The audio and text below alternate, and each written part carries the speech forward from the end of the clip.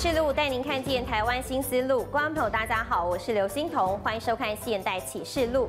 电影《倩女幽魂》中有一位树妖姥姥，长期吸收日月精华、天地灵气之后，成为了有意识的灵体，这就是所谓的树精。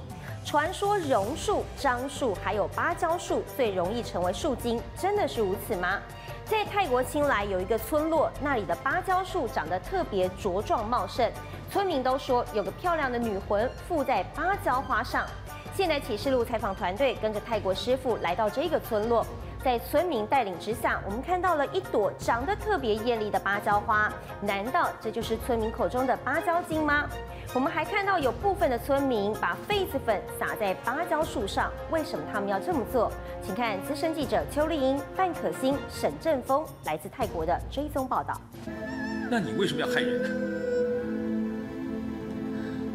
我是被姥姥逼的。姥姥是一棵千年树妖。我本来是出身官宦之家，被奸人害死路上，家父暂时把我的尸骨葬在老树下面，没想到家父跟着也被奸人害死，以后姥姥就控制我的尸骨，替他引来男人，吸取阳气。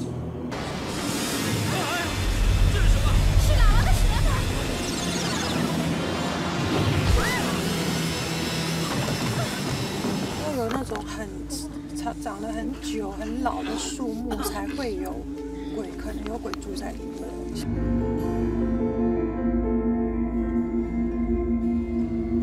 传说树精靠着吸取阳气，让自己更加茁壮。像这种以树木为主的常青植物，能力往往高于一般的鬼魂。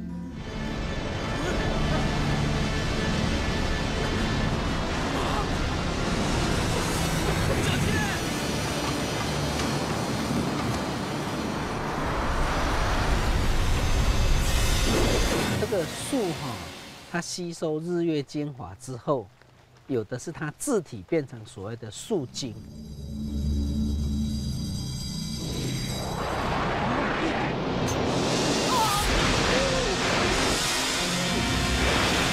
树精究竟是一如电影般虚构，还是真的存在？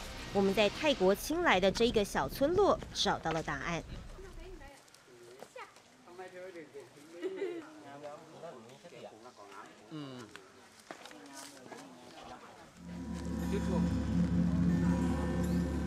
有这个花就代表有鬼了，而且他说，这个这个芭蕉树、芭蕉精要成为的要件，还是必须要是长得很漂亮的女孩子的鬼魂，才有可能会变成这样的精灵。村民指着这一棵长得特别鲜艳欲滴的芭蕉花，他说有一个漂亮的女魂就附在这个芭蕉花上，这究竟是怎么回事？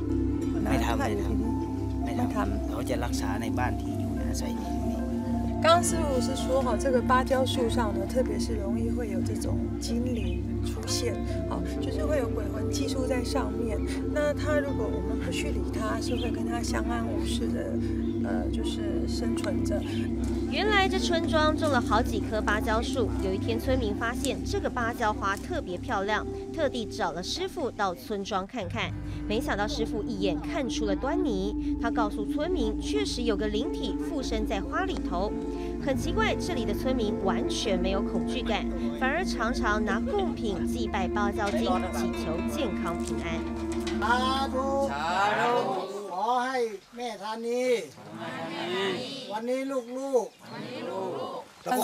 可以希望村民呃村民来这边请求，能够让每一样的祈求都能够实现，能够应验，然后中彩票啊，哈幸运啊，哈大家来跟这个那个芭蕉树、芭蕉精来祈求。套一句司马中原常说的：“中国人怕鬼，西洋人也怕鬼，那么泰国人怕不怕呢？”我不一样啊，我不一样，一样，不会怕。泰国人生性乐观，除了常见的下降头巫术之外，神鬼对他们来说，保持的都是尊敬、善待、不冒犯的态度。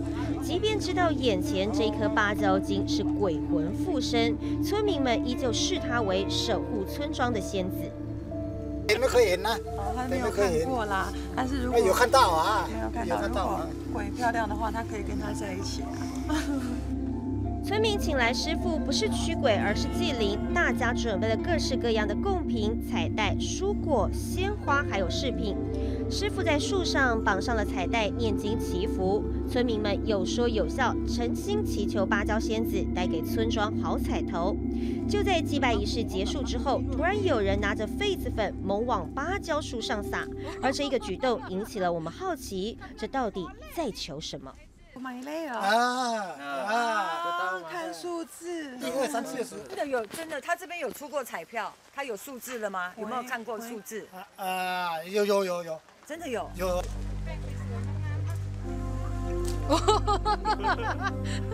กำลังจะขอเลขนี่ไอ้สิว่าสมุด要买哦，要买。看，那有没有人中过？有啊，有啊，ห้าพัน ได้ห้าพัน ห้าพัน 十块， 十块他啊，买了十块的彩票，中了五千块五。千块。啊，对呀，就是他他帮忙的。对。对呀，他帮忙，对呀，啊，我们都喜欢啊，不会怕了。据说只要撒上痱子粉，晚上就会浮现数字。村民就是看了数字之后买彩票中大奖，因此这里的村民对芭蕉精一如对待我们的土地公一般尊敬。不过花开也会花谢，万一花谢枯萎了，该怎么办？如果它在花还没有死掉的时候，鬼魂都在；如果花死掉之后呢，鬼魂就会离开。但是如果在这之前，它还没有呃呃离开之前，我们把它拿下来做成圣物，是可以做成粉，做成一些祈福品的。不过也有一种说法，趁着树枯萎之前，芭蕉精会附身到另一棵茁壮的芭蕉树上，但太小棵的芭蕉树，它可能看不上眼。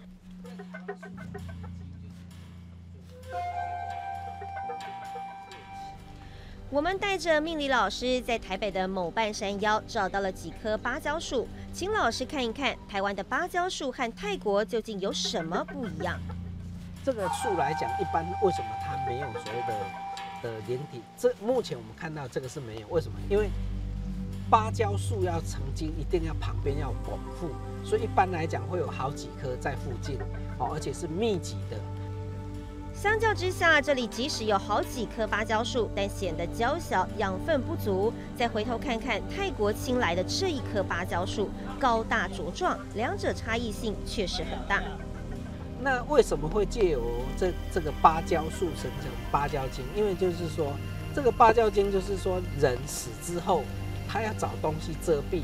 那芭蕉树它的叶子是密的，那如果说又有好几棵这个芭蕉在这边的话，它就会聚集成精。那在吸收这个人人这个日月精华的话，它就形成所谓的树精。传说芭蕉树沾到了人血就有可能成精，而且芭蕉精会幻化成美女纠缠异性。如果不小心被芭蕉树精缠上，该怎么办呢？受到它伤害的人，把他的脚用那个红线绑在他的那个脚的拇指上面，那另外要拉一条很长的红丝线，这个红线就是绑往这个车这个这个家里的这个门的外面。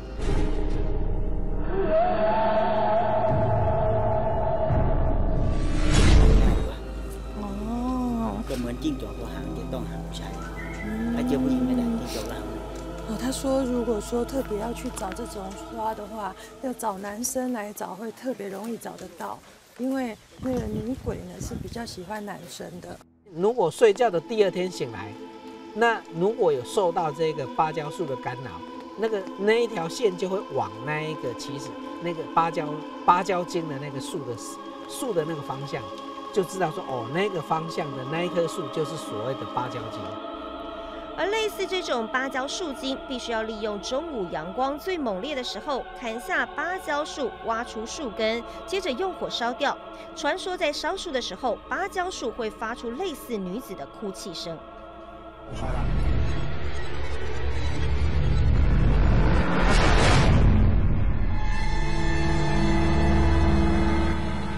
每个国家对树精定义传说不同，像泰国人敬鬼神，除了芭蕉精之外，村民直接告诉我们，很多啊，很多，鬼很多，鬼很多，泰国鬼很多。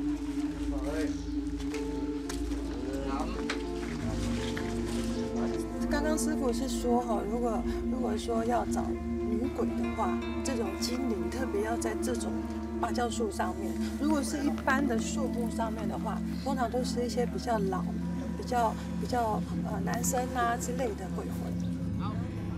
原来鬼魂也有性别和年龄的区分，这里的村民真的很特别。报名牌找芭蕉精，祈求在外平安，找的也是他。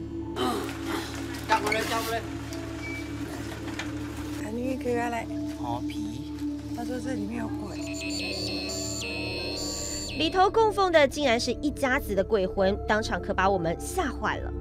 这个鬼是帮助啊，协助这这附近的村民这一块地地区。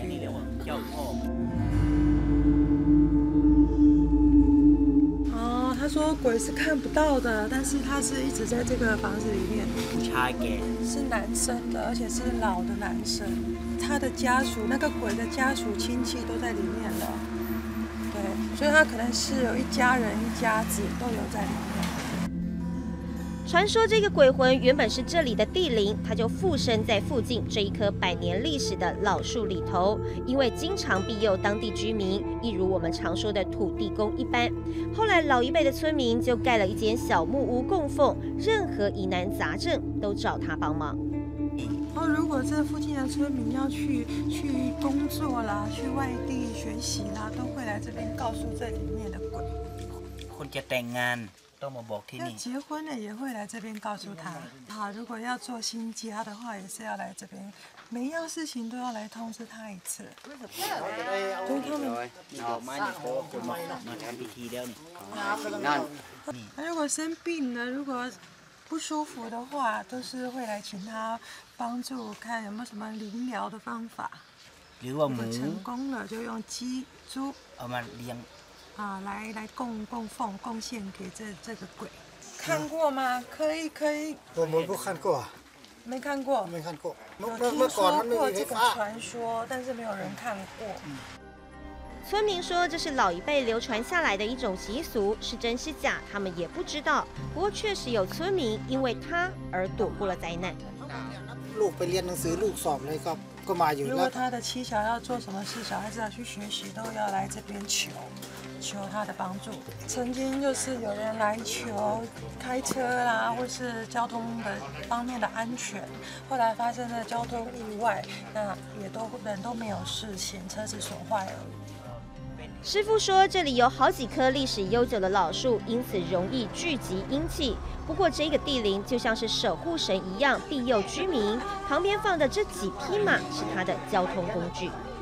他说他供供给供给他这个马的，意思是说他会骑着这个马到这个房子附近巡视巡逻。哈，你叫过来，妈，啊，看马场啊。他，我们在。他刚刚跟他打招呼说：“我来帮你清洁。”只要诚心供奉膜拜，管他是鬼还是神，一样可以和平共处，不是吗？泰国人信仰无奇不有，前阵子泰国演艺圈掀起了养鬼娃潮。据说只要供奉人称神仙的孩子，或者是鬼娃布偶，就可以让事业顺利、财源滚滚。许多民众听闻趋之若鹜，一窝蜂跑去买。不过这些民众似乎太疯狂了，他们不但带着鬼娃到庙里开光，还把他们当成是孩子一般，定做衣服，到餐厅吃饭，甚至出国也要带着鬼娃。有航空公司甚至出售了娃娃机位，还提供餐饮服务。很多不知情的民众一头雾水，压根不晓得怎么会有个布偶娃娃跟着坐飞机呢？不过就在媒体报道之后，第二天，泰国政府下令，他们不干涉个人信仰，不过师傅帮鬼娃开光，已经违反了宗教规定。因为盛传有人贩卖装着人体骨骸的鬼娃，而大部分的订单几乎来自台湾跟大陆，售价从三千块到一万元都有。究竟这些鬼娃是不是传说中的小鬼？为什么在泰国会掀起弃娃潮，反而在台湾跟大陆掀起了购买潮呢？继续是资深记者邱丽英、范可欣、沈正峰的追踪报道。你看，像这种娃娃的话，它就是我们最近比较流行啊、比较新奇的那种娃娃神。一般的鬼、一般的灵是没有修炼的，所以他的脾气、个性方面会比较不稳定。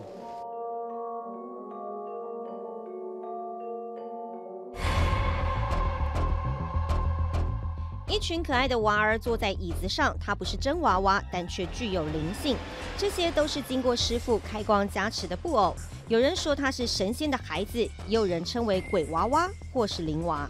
也有人是因为他想要求小孩子，他没有小孩子，那他一直希望能够养小孩子，所以他就会这个请古曼童来哈照顾他，把他当成自己亲生的小孩一样照顾。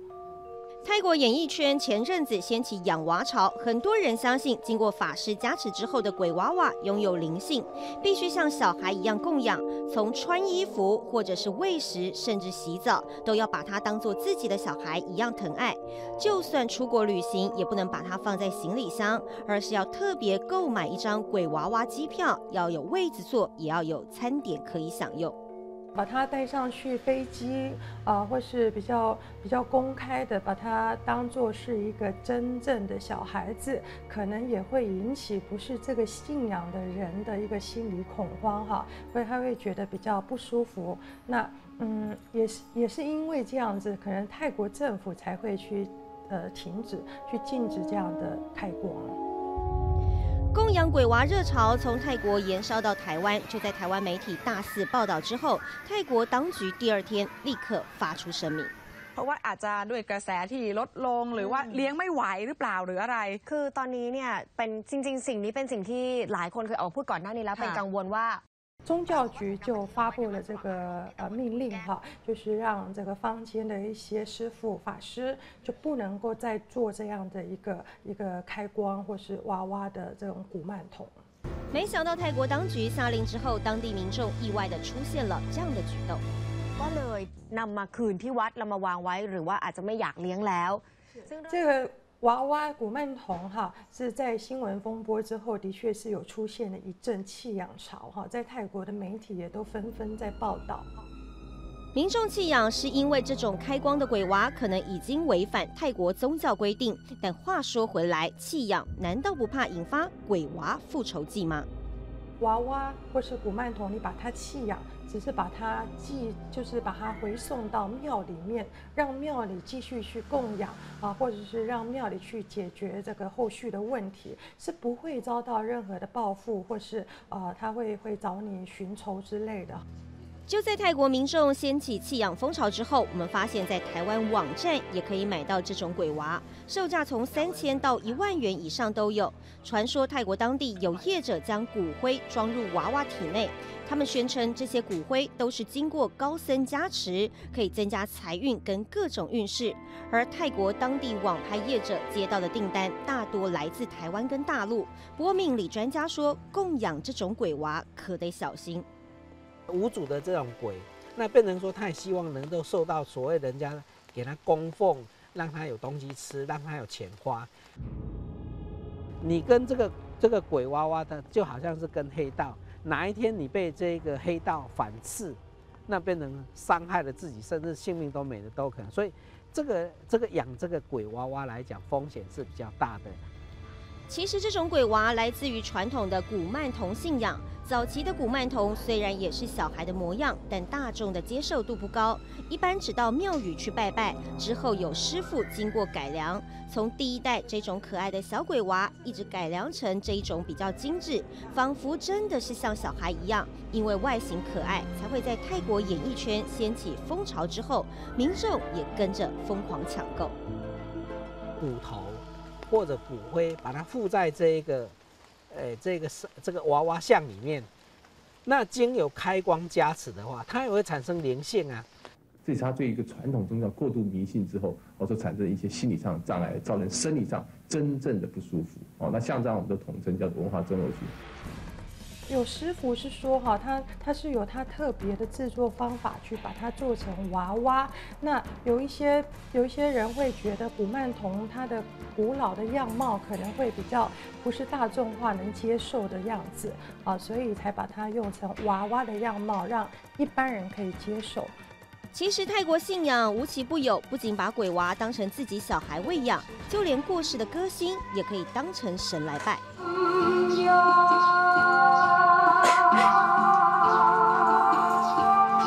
他很有名，唱歌很好听，这样，所以每个人都爱他，很喜欢他。那月亮歌手的骨灰呢，就在里面，我们可以去看看，拜拜他。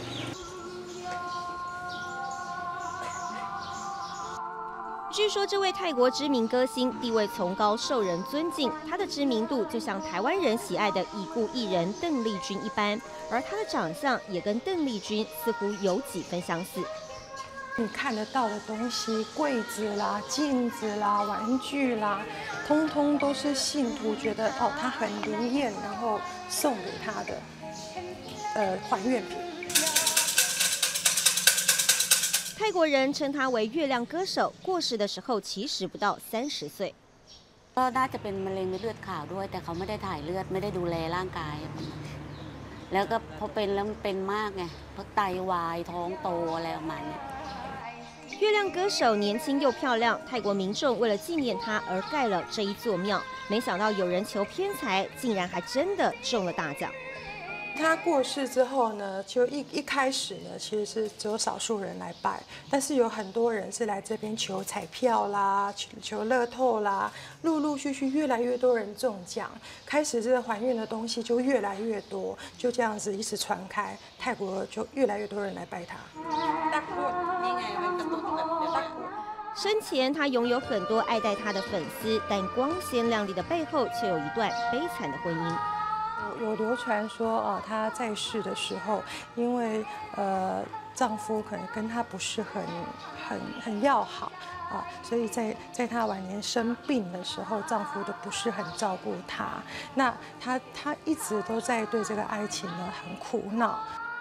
一生为情所困，没能得到丈夫疼惜，据说是她最大的遗憾。也因此，当地传说来到歌星庙，什么都能求，但有一样绝对求不得。有此一说，如果来这里求他的话，还是不要求爱情会比较好一点。不过，如果男女双方纠缠不清，想分手，来拜月亮歌手，据说这倒是挺灵验的。我们是有听说过哈，有有特别有人想要来求，呃，让让这个呃爱情不顺利，然后双方会分手的这种状况，就真的来求了之后，两两双方真的就分开了。其实歌星庙里头，除了祭拜月亮歌手之外，我们在一棵大树上发现好多的彩带悬挂在上头。一问之下才知道，原来这是民众的还愿品，而拜的竟然是树精。这个是。泰国人叫魅彩桐，魅彩桐是一种树精。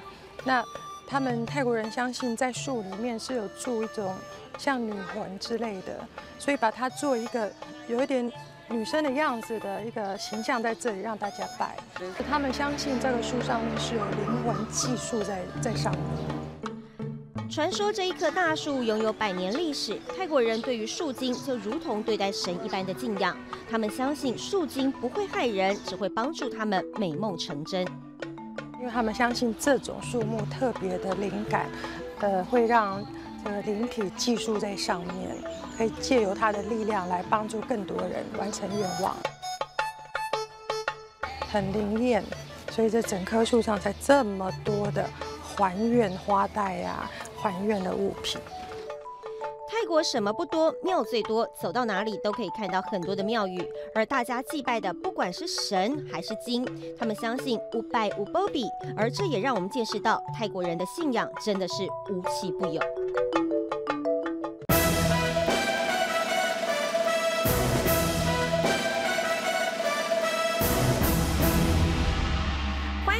中国人爱拜拜，泰国人也爱拜拜，求财、求事业，甚至求桃花。只要传说哪里的。神灵验，绝对是一窝蜂。像是大家都很熟悉的。四面佛、象神，还有港台艺人相当热衷的。白龙王，都拥有死忠信徒。而白龙王过世之后，就由他的。小女儿黄龙王接棒，在庙中为信徒解答疑难。不过这几年泰国掀起了孔雀风，据说这一位活财佛很年轻，他才三十几岁，大家都称他为孔雀王。而他之所以引发热潮，是因为孔雀王能够运用独有的招财祈福法门，将许多泰国企业名人的事业推向了高峰，也帮助很多做小生意的信徒从小生意变成了大生意，灵验事迹一传十，十传百。名声遍布了泰、新、马、中、港、台各地。究竟孔雀王是何等人物？为什么大陆知名网站的企业家也会找上他？继续是资深记者邱丽英、范可欣、沈正峰来自泰国的追踪报道。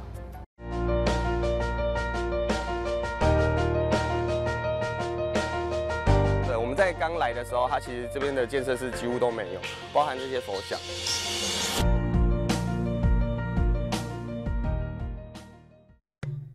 北清来府，据说有一位年轻的奇僧，在短短的数年里，就把一大片原本空旷的山地新建成这一座雄伟的寺庙。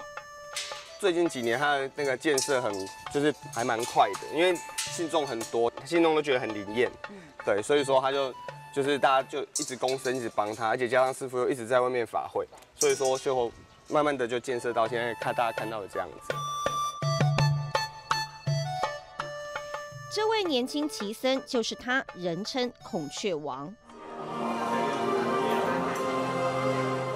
非假日的午后，孔雀王庙挤满了来自各地的信徒。眼前这一座雄伟的寺庙，耗时七年之久兴建而成。据说这里原本是偏僻荒芜的山区，才没几年的光景，人潮络绎不绝。而最大的功臣就是孔雀王。孔雀王人称古巴阿里雅茶，古巴两个字是泰国北部一带对一些道行高深、品德崇高、成为僧侣至少十年以上的高僧才给予的称呼。然而，以当年才二十七岁的古巴阿里雅茶，竟然能够获得如此称呼，说真的实在少见。他究竟有什么过人之处？传说孔雀王是台北那个这位最有名的那个师傅转世的。只是在网络上看过，说他对招财很厉害，大概就我大概知道是这些而已。古巴一九八一年出生，是家中老幺。妈妈怀他的时候，有一天梦到有一匹白布从天而降，盖过他的身体。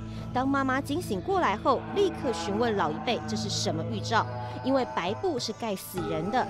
如今梦到被白布掩盖，他担心是不祥预兆，或者自己将会面临死亡。不过老人家却说这是预兆肚子里的孩子有如白布一般圣洁。妈妈听了之后，终于松一口气。果然，在古巴出生之后，身体白净，让人啧啧称奇。这位师傅就是那个台北最有名的高僧，然后他一生行善无数，然后就是有很多传奇的事迹。然后相传他转世之后，就是转世成孔雀王这样子。十六岁那一年出家，成为沙弥的古巴，在修行过程当中练就了深厚的禅定功力。在泰国广为人知的事迹，就是他在地洞戒时修行十三天。这个地洞里面不能躺，也不能站，只能够修禅打坐，不吃不喝也不拉，整整十三天。而这也创下了泰国禅定修行最多天的记录。 เป็นครั้งที่ 9 แล้ว ซึ่งเป็นการปฏิบัติตามแบบโบราณอาจารย์ ในสายของครูบาแทนความหมายของโลกุตตรธรรม 9 คือมรรคสี่ผลสี่นิพพานหนึ่งรวมเป็น 9 ซึ่งการทำนิโรธกรรมของครูบา จะเข้าในสถานที่สัปปายะห่างไกลผู้คน โดยมีชาวบ้านจัดเวรยามรักษาในรัศมี 两千零六年，也就是古巴二十五岁那一年，他梦见了一块福地，这一块地就是现在孔雀王庙的所在地。传说背后有一段玄奇的故事。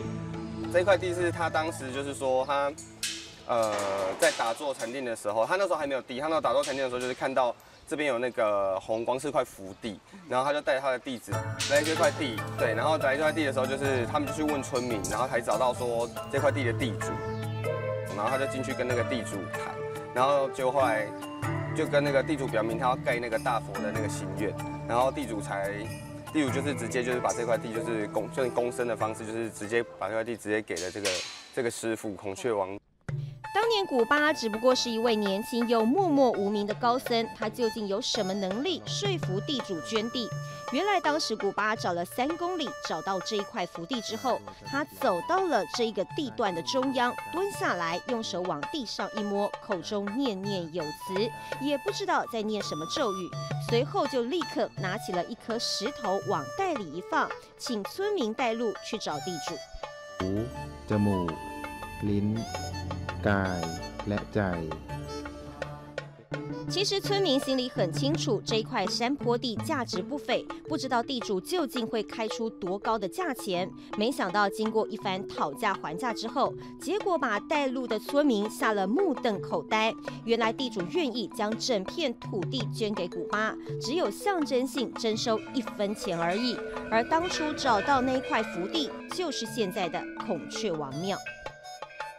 本身的那个佛学的造诣那些，去跟那个地主去弘弘扬那个佛法的方式去跟他说这样。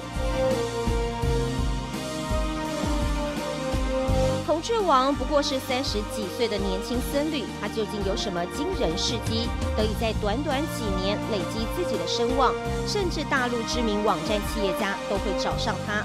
而且只要孔雀王在寺庙的时候，就会有来自各地的信徒纷纷前来朝圣，一天上千人绝对少不了。有的时候他也会前往信徒家中，帮大家解惑开示。我们透过管道得知，孔雀王将在某天前往曼谷信徒家里。那一晚，我们特地驱车前往守候。很意外，在泰国的这一栋豪宅里头，也有来自台湾的信徒。原来他们听说孔雀王很灵验，特地飞来泰国，请他开示祈福。对，希望可以招财。嗯，哎呀，让他可以幸运一点。很多的师傅啊，啊，所以他的功力不一样。客厅里头挤满了等待的信众，主人热情招呼客人。据说房子的主人原本从事小生意，经过孔雀王独门招财祈福法门，生意越来越好，才有能力买下这一栋千万豪宅。因此，他有时候会特地请孔雀王来家里帮信徒祈福。一小时之后，一位年轻僧侣缓缓从楼上走下来，原来他就是传说中的孔雀王。他说在庙里就有很多人邀请了，在庙里就有很多人来祝福了，但是就是有人邀请出来，可以继续做。他们这种邀请有点像是说他们希望家里更好。皮肤白皙，长相秀丽，脸上略显疲态，但古巴还是热情的为信徒开示。在泰国，高僧不能触碰女性的肌肤，这是一大禁忌，所以女信徒不能太靠近古巴，必须保持一定的距离。但男性没有任何禁忌，男信徒可以近距离的拥抱古巴，甚至亲手为他系上红色幸运物。朋友之间有传说说，就是带着他的佛牌呀。还是刺刺他的那个那个经文啊，然后都有招财的啊，然后做生意会比较好，财运呢增加很多。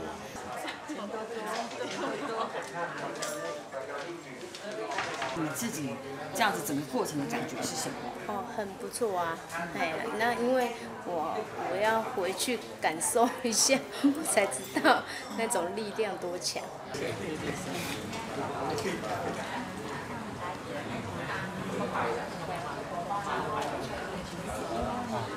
谢谢，谢谢。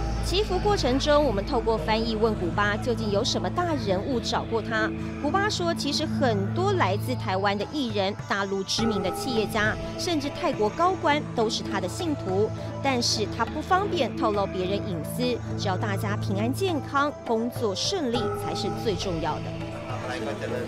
主巴能够帮他加持之后，他能够得到很好的祝福，就能工作做得。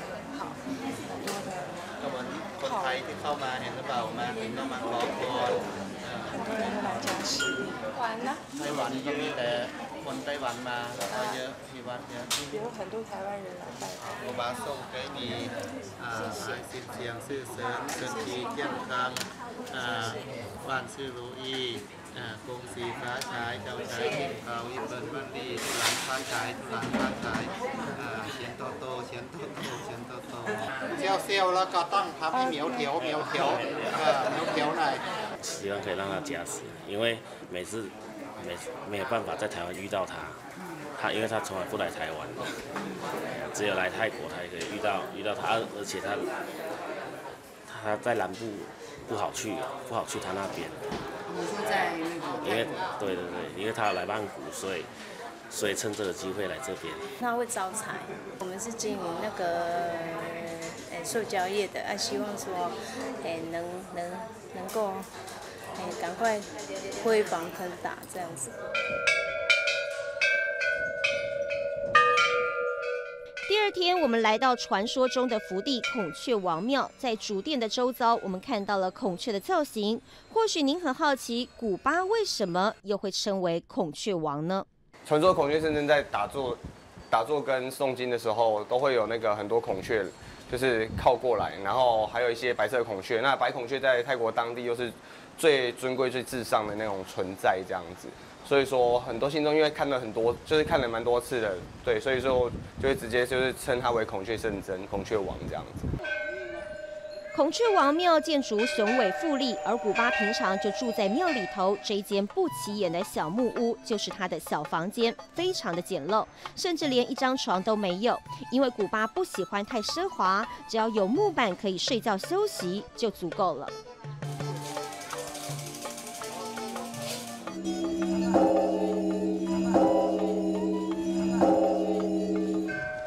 这王庙主殿里头放了有高僧的佛像，让人朝拜之外，这一列摆放的就是原籍的师傅，其中有一个最特别的就是九面佛像。相传啊，他是要取用当地的九户富贵人家的一块钱，把它收集起来，熔铸成这个佛像，然后一起给人带来一个福气跟财富，所以我们都会称它做九面富贵佛。如果说信徒来这边拜拜的话，他会拿钱币把它投到这个象征钱袋的东西里面，然后祈求说：哦，我用一点点的钱能够换来很大的财富，非常的灵验哦。因为因为它是，其实它的意义就在于说，它收集了很多人的这种呃，像九户人家的的财富来帮助你，把你的财运也给拱上来、抬起来的感觉。求财之外，还可以许愿。据说孔雀王庙这一个许愿钵和许愿钟，能够让您心想事成。这许愿钵在上面的碗有每一个有每一个的意思。那呃，像招财啦，或是让自己有名，或是让呃这个呃债务消除。看每个人来这边呢，只要拿个钱币，然后许愿望，许完了愿望呢，把钱币往上抛，看上哪一个就会得到哪一个的加持。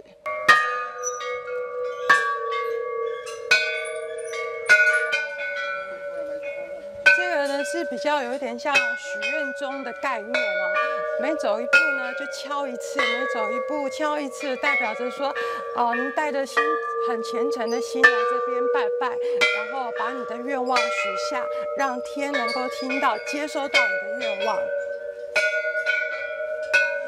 除此之外，还有一个很特别的招财胖女神，这是孔雀王亲手塑造的神像，一手招财，另外一手帮你守财，这也是孔雀王庙中很受欢迎的神像之一。古巴是觉得说哈，可以把这个招财女神做的丰满圆润一点的话，代表着很有福气、很有财气，所以把把这个招财女神做的跟外面的招财女神是比较不同的样貌。而另一边供奉的神像，我们看到信徒紧紧贴住神像的脸，口中念念有词。一问之下才知道，原来这就是所谓的许愿女神以及祖师爷。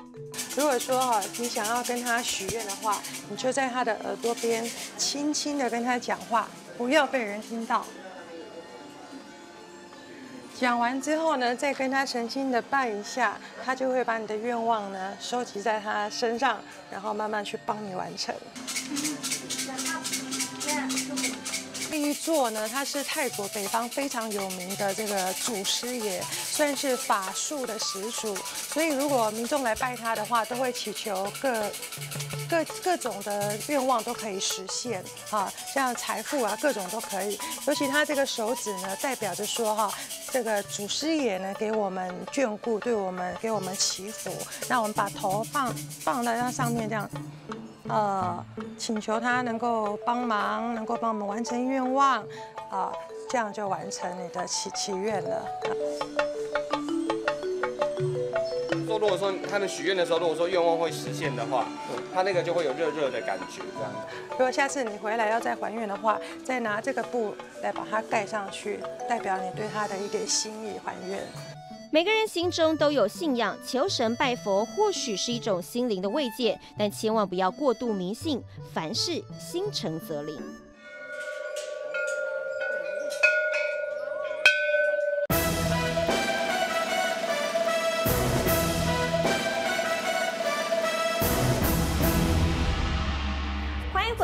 国北部有两座非常知名的庙宇，一个是白庙，另一个是黑庙，一白一黑，大家都说这就是天堂跟地狱。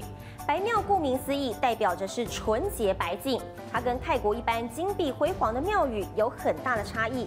这是由泰国一名知名的艺术家设计的，因为本身喜欢白色，所以整个寺庙主体就是以白色为主。大家都说白庙代表的就是天堂，而里头有一座桥，据说走过去之后千万不能回头，究竟是为什么呢？而被称为是地狱的黑庙，则是有另外一位艺术家设计的。他热爱黑色，主体全部都是黑色，里头摆放的物品其实很怪异，都是跟死亡有关的展示品。究竟是哪些东西呢？而黑庙里头为什么感觉起来会有点阴森森的呢？继续是资深记者邱丽英、范可欣、沈振峰来自泰国的报道。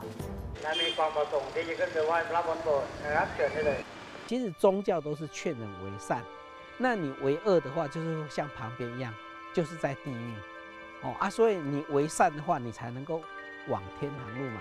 所以宗教都是有劝人为善，往天堂路，哦，不要往地狱之路去走。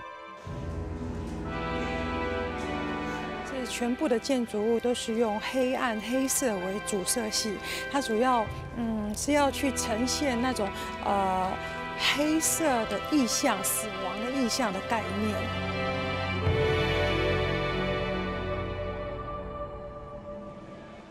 有别于一般泰国寺庙的金碧辉煌，这里呈现的是一种洁白神圣的氛围，大家称它为白庙，是由这位艺术家所设计的。很多人说白庙就像是天堂一般，而白庙最吸引人的莫过于这一座桥。这座桥意味着从地狱走到天堂。桥的开始端是地狱，两旁伸出一只又一只的手，他们都被称为寻求救赎的手，希望从地狱苦难中得到解脱。而桥的另一端就是天堂，所以这一座桥是不许回头的，否则你将会轮回到地狱去。人一生走过来都是都是空啦，那你只有勇往直前的走向佛，走向神，那才是正道哦啊！所以他把。把这整个路的两边设置的所谓的这个鬼手啊，这个骷髅头，其实都是没有什么好留念的，就是要勇往直前往前走，走向这个天堂路。通常会告诉你说，你要一路走到底，而且是不能够回头。如果回头的话，就是象征不好，你往回头不好的东西看的意思。一路往前走，就是往好的地方去。在白色建筑物当中，有一个唯一打造成金碧辉煌的建筑，感觉就像皇宫一样。魔鬼藏在细节当中，您猜得到这是什么吗？没错，这就是化妆间，也是设计师非常引以为傲的设计之一。接着，外头两旁的大树上悬挂着好几颗骷髅头，这究竟意味着什么？这好像是要告诉告诉我们一般人说你要做一些善事要做好事啊。如果如果没有做做很好的事情的话就会受到一些惩罚之类的。有天堂当然也有地狱传说中的黑庙同样位在泰国北部。这里最吸睛的应该就是跟死亡有关的展示品。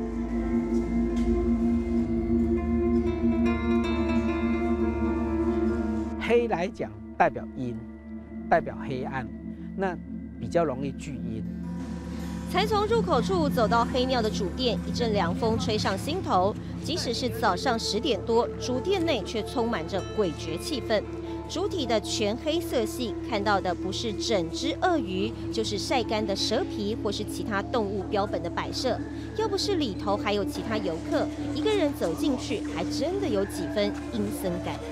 它的设计上来讲，就是容易聚阴。那另外，如果说他又把一些动物的一些标本，啊，尸体摆在这边的话，那聚阴来讲都会有所谓的动物灵啊，所以来讲这个这个这个黑庙的这样的一个摆设来讲，就是容易聚到这种动物灵，甚至有那个呃孤魂野鬼，如果说没有受人供奉，也比较容易跑到这边来。而设计黑庙的艺术家就是他，几年前因病过世，这里原本是他的住家，过世之后一家人才离开这里。而据说这一位艺术家跟他的父母亲的骨灰依旧放在黑庙里头，而他本身最大的嗜好就是收藏各种动物标本，不但在主殿内，就连其他黑色小屋也陈列了他所有引以为傲的珍藏品。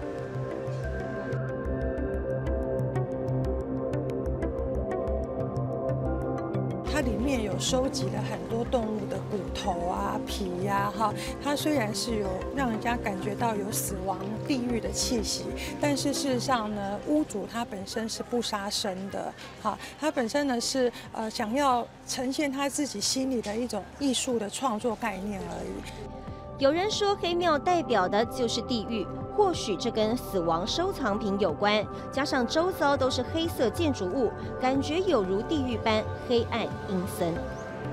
运势太不好的时候，最好能够身上放一个那个所谓的绿色植物在身上，然后呢比较不会去卡到那个阴，然后出来的时候再把那个树叶给丢掉，这样比较不会卡到阴。其实黑白庙两位艺术家属于师徒关系，他们曾经离开青来出外闯荡，直到功成名就回到自己的祖国之后，各自打造独特的王国，无关宗教，纯属艺术，但警示意味浓厚，就是奉劝大家千万拍楼唔汤行，做坏事的下场就是到地狱受苦又受难。